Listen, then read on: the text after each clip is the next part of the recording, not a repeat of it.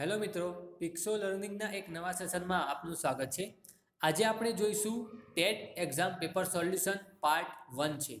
Part one paper સોલ્યુશનની અંદર આજે આપણે ભૂમિતિ, એટલે કે પરિમિતિ, ક્ષેત્રફળ અને ઘનફળના સંબંધિત કેટલાક એક્ઝામ્પલ્સ જોઈશું. જે ટેટ એક્ઝામ બે હજાર બાર, બે હજાર ચૌદ એની અંદર પૂછાયેલા છે. તે ક્વેશ્ચનની આજે આપણે સોલ્વ કરીશું.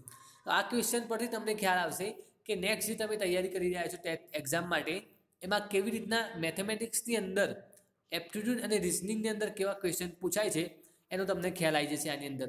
તો ચાલો જોઈએ અને આજે. સૌથી પહેલો પ્રશ્ન છે કે આર ત્રિજ્યાવાળા વર્તુળમાં સમાયેલા ચોરસની બાજુનું માપ કેટલું છે? એ શોધવાનું છે. કે આર ત્રિજ્યાવાળું એક વર્તુળ છે, એની અંદર એક ચોરસ સમાયેલો છે.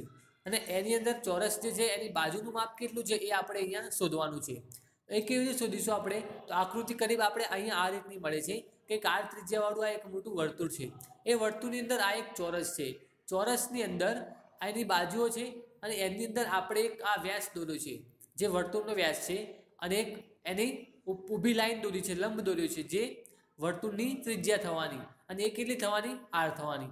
હવે એની અંદર ત્રિજ્યા તો આપણને ખબર છે, આર છે. આપણે શોધવાનું છે કે આ ચોરસની જે બાજુ છે એ શોધવાની છે. તો આના પરથી આપણને ખબર પડશે પહેલાં કે વર્તુળની ત્રિજ્યા આર એ એમ કે ચોરસનું શું થવાનું?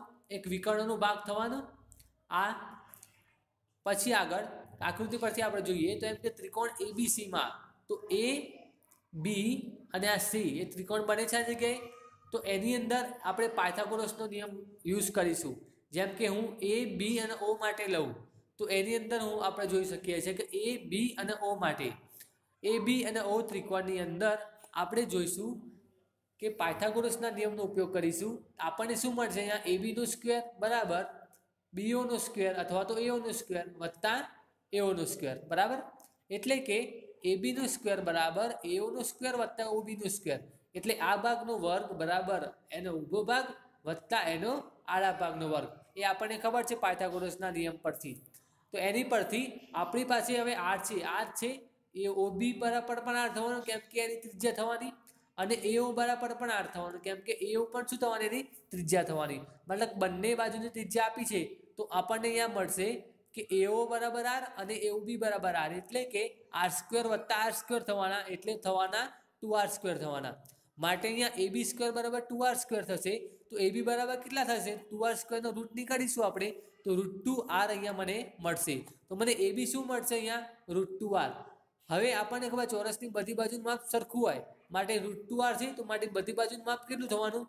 રૂટ ટુ આર થવાનું. તે માંગેલ જવાબ પ્રમાણે જે ચોરસની બાજુનું માપ છે, એ રૂટ ટુ આર આપણને અહીંયા મળશે. આ હા તો ક્વેશ્ચન ટેટ બે હજાર બારની એક્ઝામની અંદર પૂછાય તો. બીજો એક ક્વેશ્ચન જોઈએ, કે એક લંબચોરસની પહોળાઈ તેની લંબાઈનો ત્રણ ચતુર્થાંશ ભાગ છે. હવે લંબચોરસનું ક્ષેત્રફળ છે, એકસો બાણું ચોરસ મીટર છે. તો તેની પરિમિતિ આપણે શોધવાની છે. કે લંબચોરસની પહોળાઈ એ છે, એની લંબાઈનો ત્રણ ચતુર્થાંશ ભાગ છે. તો લંબચોરસનું ક્ષેત્રફળ આપણને આપી દીધું છે, એકસો ને બાણું ચોરસ મીટર. તો પરિમિતિ શોધવાની છે. આ પણ ટેટ બે હજાર બારમાં પૂછાયેલો ક્વેશ્ચન છે. તો આને સૌથી પહેલાં કેવી રીતે સોલ્વ કરીશું? આપણી પાસે કોઈ એક્ઝેક્ટ માપ છે નહીં લંબચોરસનું. તો એના માટે આપણે શું કરીશું? ધારો કે લંબચોરસની લંબાઈ જે છે એ એક્સ મીટર છે, એવું આપણે લઈ લઈએ છીએ. હવે તેની પહોળાઈ જે છે, એ તેની લંબાઈનો ત્રણ ચતુર્થાંશ ભાગ છે. માટે શું થવાનું? કે પહોળાઈ બરાબર ત્રણ એક્સ ભાગ્યા ચાર થવાના? કેમ કે લંબાઈ આપણે એક્સ લીધી અને પહોળાઈ જે છે એ એક્સ કરતાં ત્રણ ચતુર્થાંશ છે. તો ત્રણ ચતુર્થાંશ ગુણ્યા એક્સ એટલે કે ત્રણ એક્સ ભાગ્યા ચાર થવાના. તો આ શું મળશે? અહીંયા મને પહોળાઈ મળશે. લંબાઈ મને એક્સ મીટર મળી છે. હવે લંબચોરસનું ક્ષેત્રફળનું સૂત્ર શું છે? કે લંબાઈ ગુણ્યા પહોળાઈ છે. તો લંબચોરસનું ક્ષેત્રફળનું માપ આપણને આપ્યું છે. કેટલું આપ્યું છે? એકસો ને બાણું ચોરસ મીટર.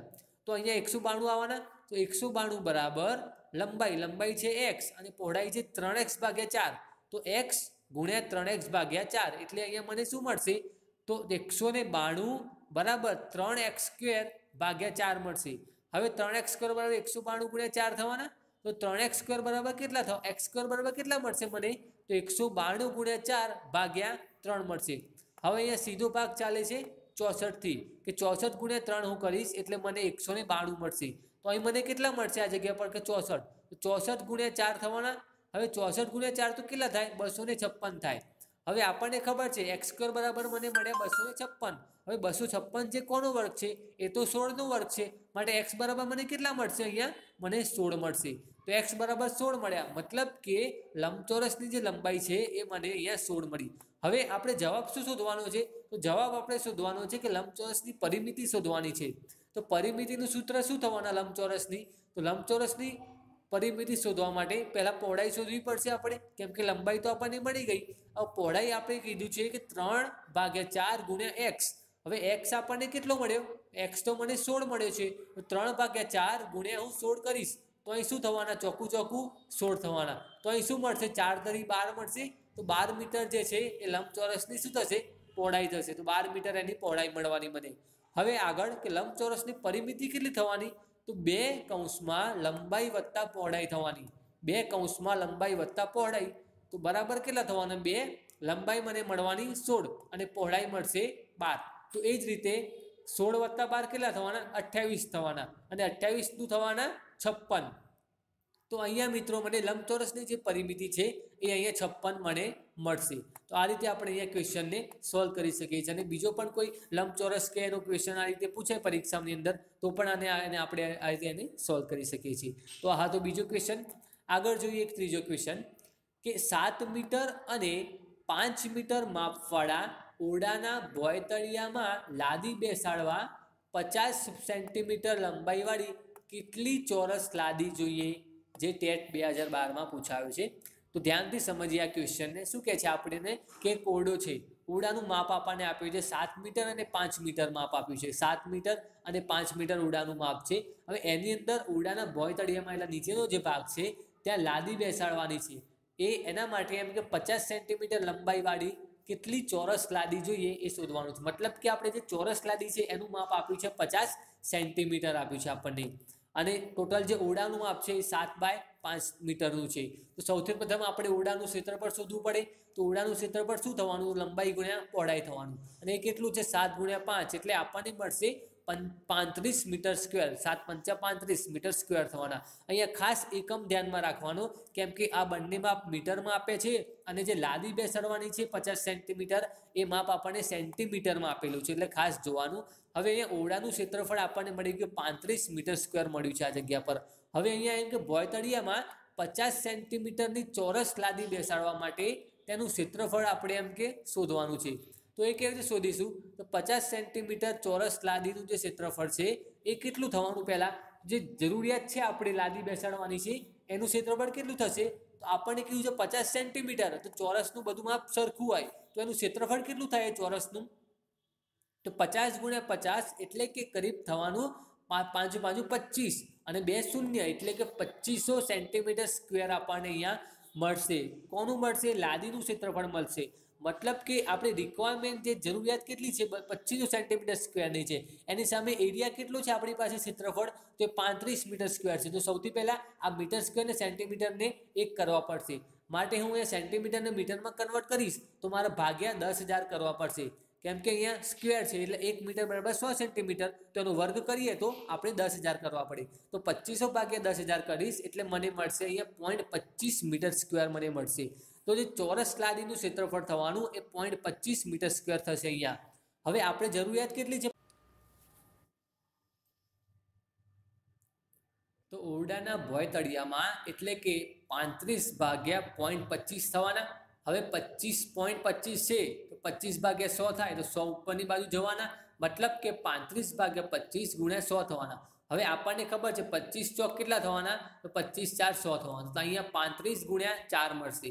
પાંત્રીસ ગુણ્યા ચાર થશે આ જગ્યા પર એકસો ચાલીસ. તો એકસો ચાલીસ મીટર જે છે એ ચોરસ લાદી આપણે એમ કે જોઈએ.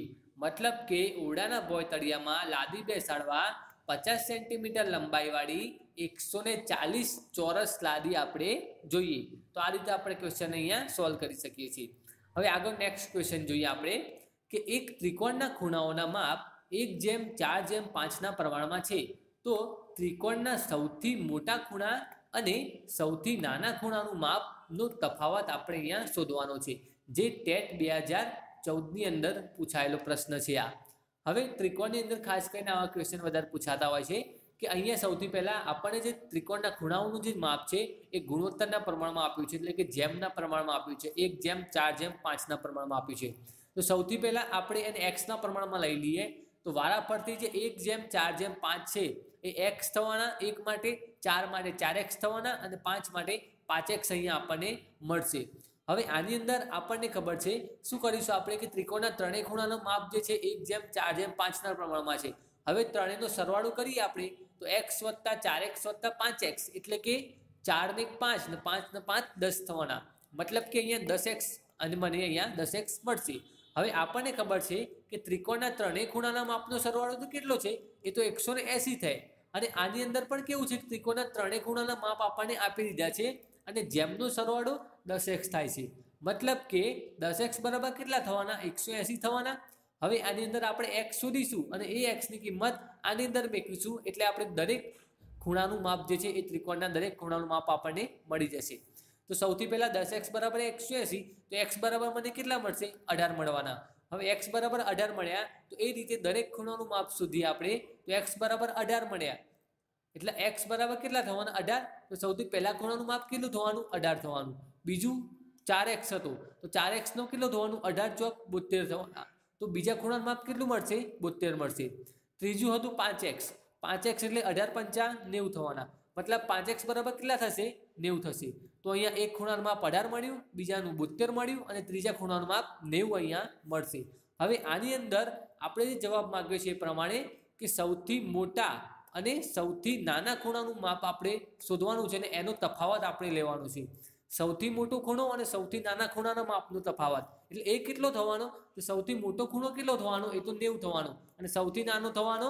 અઢાર થવાનો. મતલબ કે નેવું ઓછા અઢાર કરીશું આપણે, એટલે આપણને મળશે બોતેર તો જે બોતેર જે થશે એ આપણો અહીંયા જવાબ થશે. મતલબ કે સૌથી મોટા અને નાના ખૂણાના માપનો તફાવત કેટલો મળશે?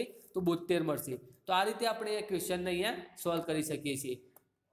તો આ હતો આપણો ચોથો ક્વેશ્ચન.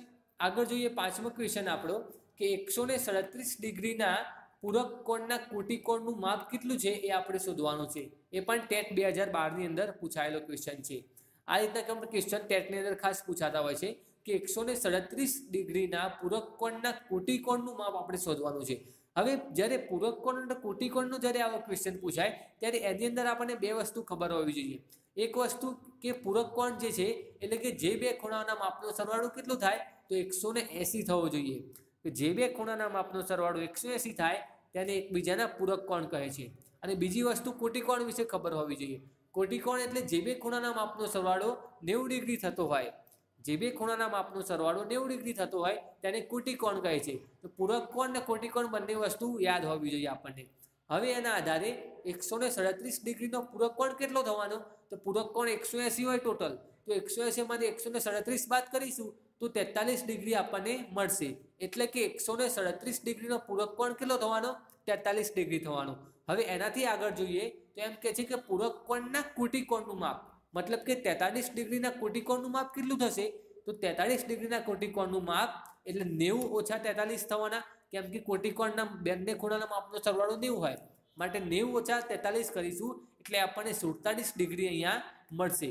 તો સુડતાલીસ ડિગ્રી જે છે એ આપણો અહીંયા જવાબ થશે. તો અહીંયા આ રીતે આપણે અહીંયા ક્વેશ્ચનને સોલ્વ કરી શકીએ છીએ. તો આ હતા આજના પાંચ ક્વેશ્ચન જે ટેટ બે હજાર બાર અને બે હજાર ચૌદની જે એક્ઝામ્સ લેવાઈ હતી, એની આધારિત આ જે વિડીયોઝ છે, આખો એ આપણે અહીંયા તૈયાર કર્યું છે. તો આ વિડીયોઝને જોવા મળે થેન્ક યુ સો મચ અને જે લોકોએ અમારી ચેનલને સબસ્ક્રાઈબ કરી છે, જે લોકો વિડીયોઝને જોવે છે કોમેન્ટ્સ કરે છે, તેમના માટે ખૂબ ખૂબ ધન્યવાદ. And thank you so much for watching and subscribe this channel અને જે લોકોને ચેનલ સબસ્ક્રાઈબ કરવાની બાકી હોય, એ લોકો પ્લીઝ અહીંયા ક્લિક કરીને ચેનલને સબસ્ક્રાઈબ કરી શકે છે. અહીંયા મોર વિડીયોઝ છે મેથ્સ કોન્સેપ્ટના પણ વિડીયોઝ છે, જેની અંદર દરેક કોન્સેપ્ટ વાઇઝ અલગ અલગ ટોપિક્સનો કોન્સેપ્ટ અને એક્સરસાઇઝ સાથે આ વિડીયોઝ બનાવેલા છે. બાજુમાં છે રિઝનિંગનો ટોપિક છે. એ રિઝનિંગની અંદર દિશાંતર કેલેન્ડર ઘડિયાળ, આ રીતના જે ટોપિક છે, એના આખો વિડીયોઝ બનાવેલો છે. તેમાં, એમાં પણ જઈને તમે એને જોઈ શકો છો. બીજું પેપર સોલ્યુશન્સ પણ છે અને બીજા પણ ઘણા વિડીયોઝ છે. એક્ઝામની ટિપ્સ પણ છે કેવી રીતે એક્ઝામ તૈયારી કરવી માટે અહીંયા તમે ચેનલ સબસ્ક્રાઈબ કરી શકો છો. આ બધી જ ટિપ્સ મેળવવા માટે. And thank you so much for watching thank you